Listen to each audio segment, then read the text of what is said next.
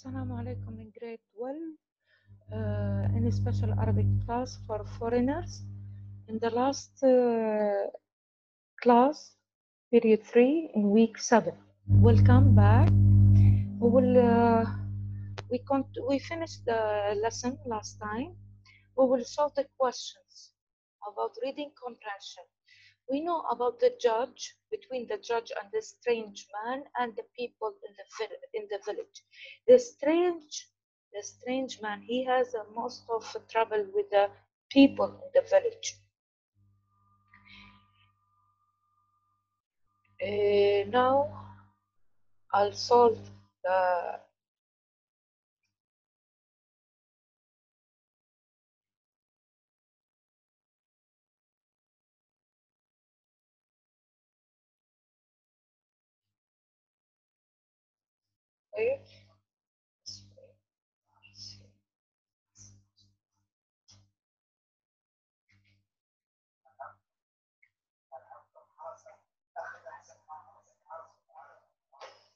Give me one minute, please. I will open something. Okay. Today we will solve all the questions together.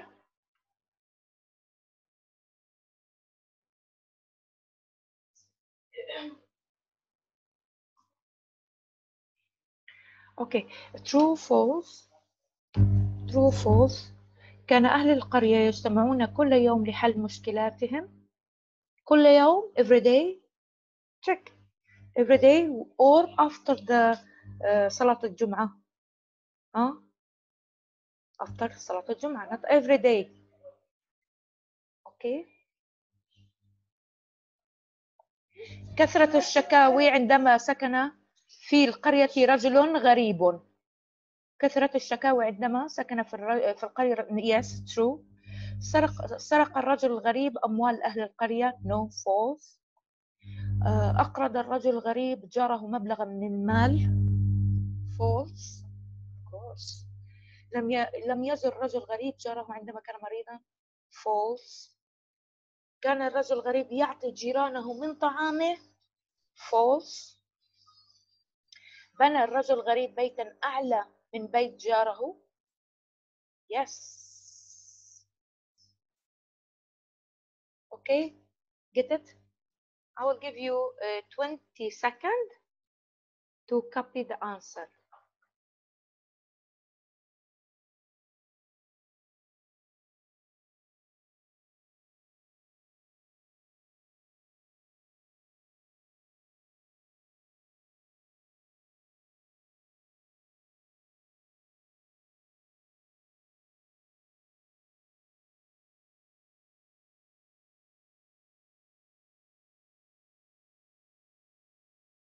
Okay, finished? Thank you. We will go to the, oh, sorry.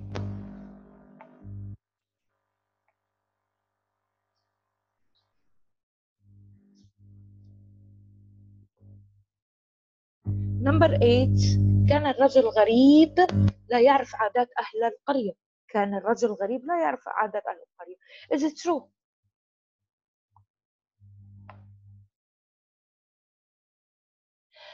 اعترف الرجل الغريب بإخطائه Yes some of it some not all فيعني between true and between between true and false we will say yes because he said he made a mistake with the old man only not for uh, with another people uh, between true or, fa- Or false if you will say true it's correct if you will say false also it's correct I'll make true رحل الرجل الغريب إلى إلى قرية أخرى هل رحل هل رحل who will check the answer who will see the answer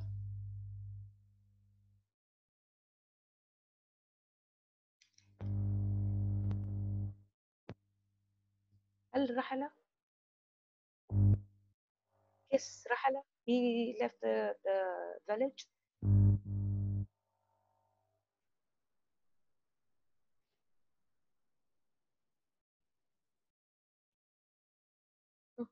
Will check.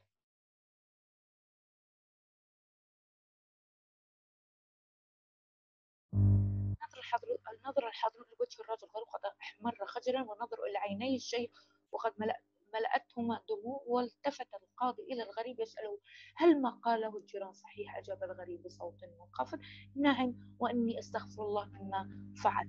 قال القاضي لجي آه، قال القاضي إن لجيرانك عليك حقوقا كثيرة آه، بينتها آه، بينتها الشريعة وكان رسولنا الكريم صلى الله عليه وسلم يوصينا بالجار دائما فما بالك لا تفي بحقوق الجيران؟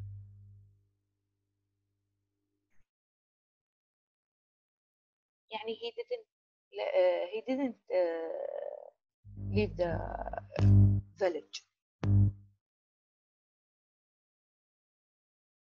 يعني the last one is false the last one is false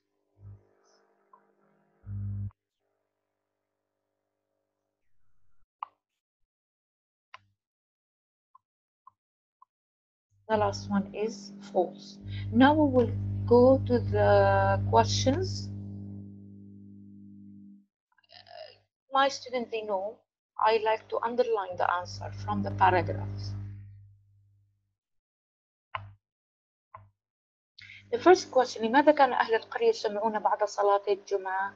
We will check the answer.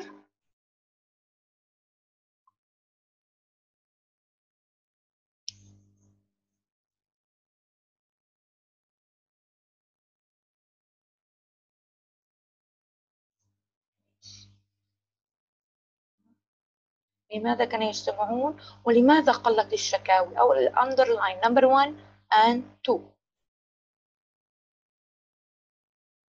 to explain their problems if anyone has a problem صح؟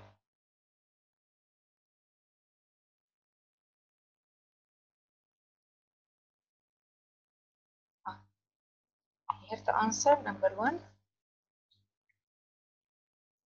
فإن كان لأحد عند أحد مظلمة حكم بينهم رجل يسموه قاضي الرجل. This number one.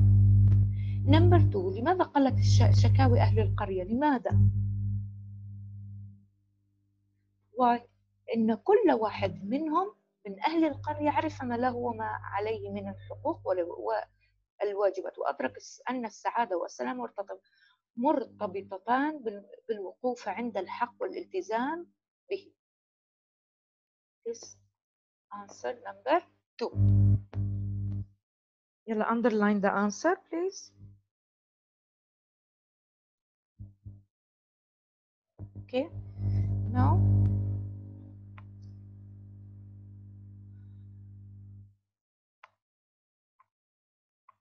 now question number three. Question number three.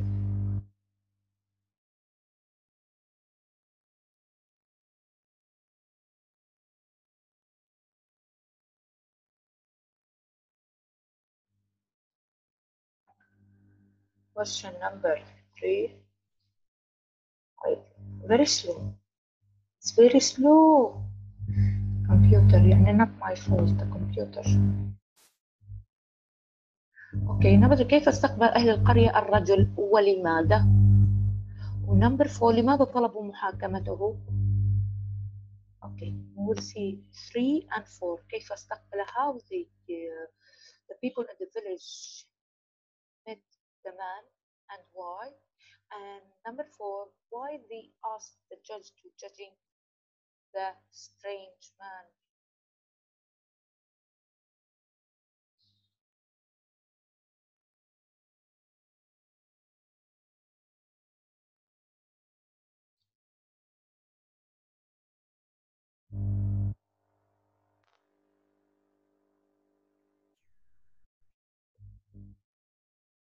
sure it's very slow.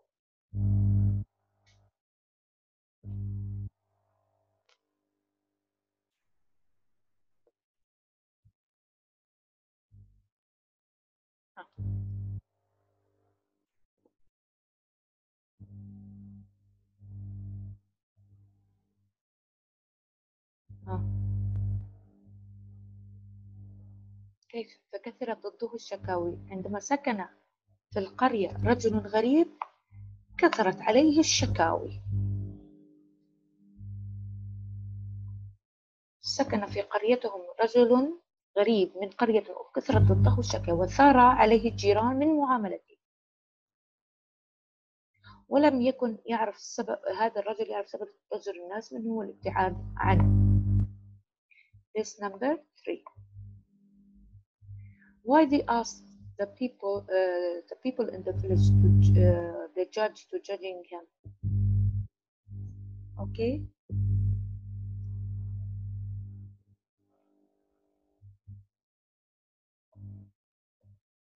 أوكي ها آه. وجد القاضي أكثر من شكوى ضد تلك ذلك الرجل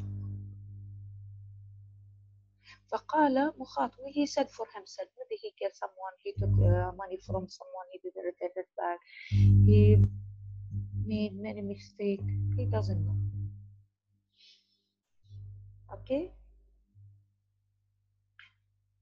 فوجد الناس غاضب من ذلك الرجل فطلب أن توقع المحكمة قبل صلاة قبل صلاة الجمعة على غير العادة فوجد القاضي أكثر من شكوى ضد ذلك الرجل this number from here till here four and you will continue the answer here number four also okay please underline the answers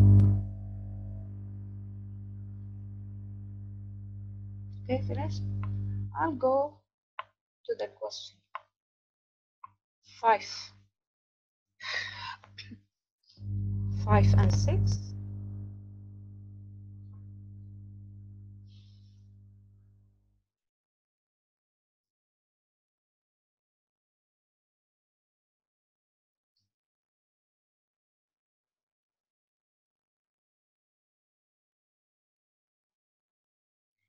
هل حكم القاضي على الرجل غريب قبل الاستماع إليه؟ لا لماذا؟ حتى يحكم بالعدل We say here, I will write it.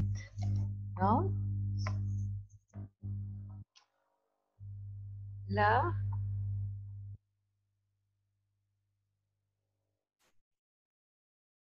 لا حتى نحكم بينهما بالعدل. He want to listen to for two teams, for the people in the village and the strange man. ما التهم التي وجهها المشتكي الأول ضد الرجل الغريب وكيف دافع الرجل الغريب عن نفسه we'll see please copy the answer الأنسر 6 and 7 ما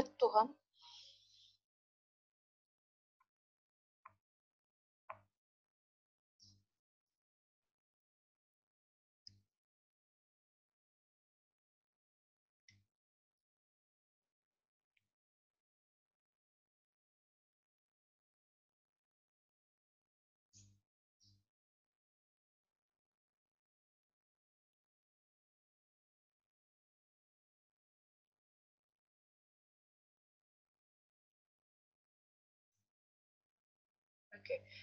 The first one, ما التهم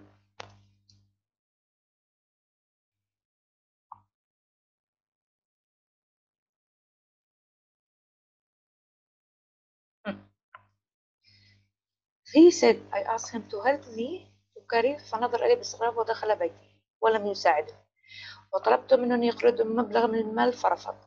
ومرضت أسبوعا فلم يأتي لي زياد ونجح ابني فلم يشاركني من في فرحتي وتوفى والدي فلم يطرق باب منزلي ليعزني ويخفف عني ولم يخرج معنا إلا القبر this answer number five this sorry six this all number six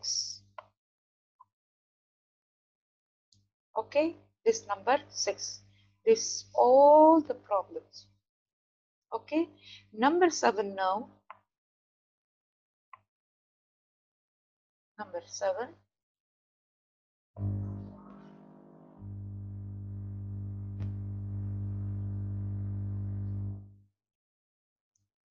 كيف دافع عن نفسه الرجل الغريب؟ آه. Said لكنني لم أعتدي عليه. ولم أضرب ولم, أدخل بيته بغير إذنه ولم أقطع غصنا من أشجار بستان ولم أقترض منه ما لم أماطل في الدم. فكيف يقول إنني لا أعرف حقه؟ okay this number seven. هكذا دفع عن نفسه okay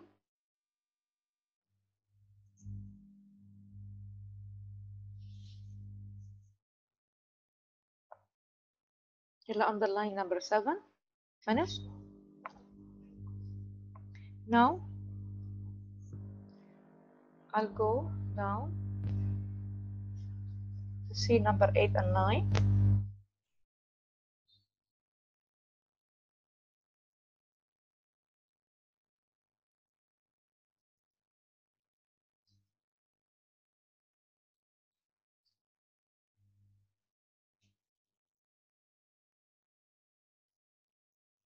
بما حكم القاضي وما التهم التي وجهها الشيخ للرجل الغريب. نمبر 8 ما بما حكم القاضي وما التهم التي وجهها الرجل الشيخ the old man للرجل الغريب وكيف حكم القاضي؟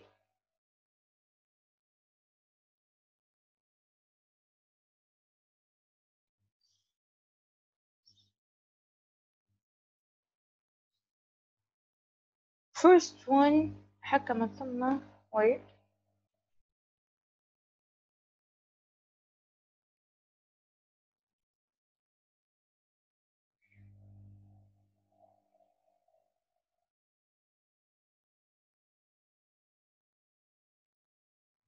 First, number no, uh, the, the last question, uh, sorry, number eight, the answer it will be in the end of the story. I will give you the answer of nine before eight. ماذا ما كان شكوى ال- الرجل ال- الشيخ إنه إن هذا الرجل يمنع عني الشمس والهواء. This number one of nine. Okay. This number nine and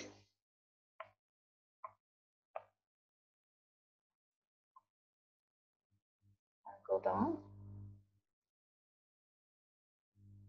and لقد رفع بناء على الجدران دون أن يطلب مني إذنا بذلك. وقد منع عن داري المطبعة ضوء الشمس وحجب عني الهواء العليل. أوكي مم. and also أنه يطعم الطعام ويشوي this all of it. This number nine. Number nine. Underline number nine please because I want to give you the answer of eight. Finished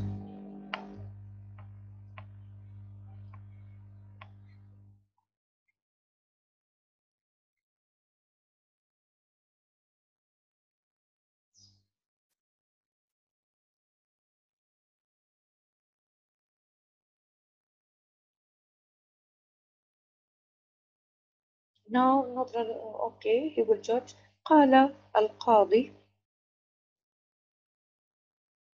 إن للجيرانك he advised him. كيف حكم عليه? He advised him. إن he told him لجيرانك عليك حقوق كثيرة. آه، بينتها الشريعة. وكان صلى الله عليه وسلم يوصينا بالجار دائما. فما بالك؟ لا تفي بحقوق الجيران. You have what to apologize for them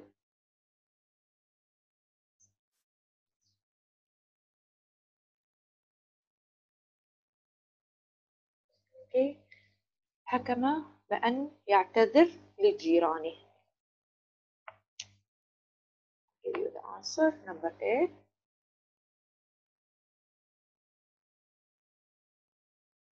أن يعترف بحقوق الجار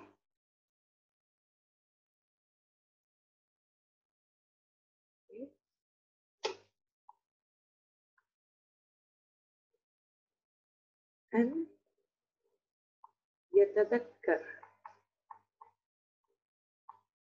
حقوق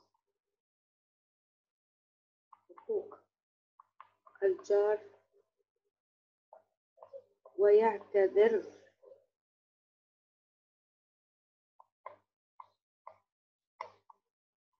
لجيرانه This number 8 We did the 9 in the same paragraph أن يتذكر حقوق الجار ويعتذر لجيرانه Okay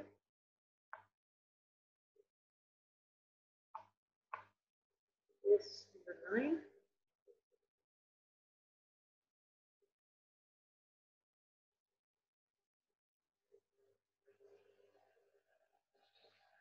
طلب طلبت منه أن يقرضني مبلغا من المال فرفض هو مشتكي هو said that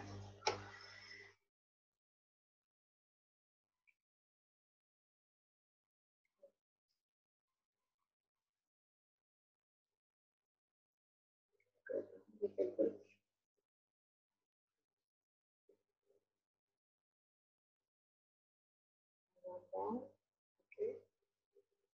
Will match who said that uh, sentence. طلبت طلبت من أن منه أن يقرضني مبلغا من المال المشتكي. إني لا أذكر شيئا ما قاله هذا الرجل. هو strange man. لعل ذلك الرجل قتل الأبرياء للجد. لم أضربه لما دخل بيته بغير إذنه. The strange man. من مالك الشمس والهواء هو الشيخ. نعم إني أستغفر الله مما فعل الرجل الغريب. لقد نغص علي حياتي هو الشيخ. إنه يؤذيني ويجعلني بفقري واحتياجي الشيخ. أيها القاضي المحترم إن هذا الرجال لا يعرف لي حقا. المشتكي إن لجيرانك عليك حقوق. القاضي. We finish our les- lesson. Thank you, grade 12, for the nice lesson.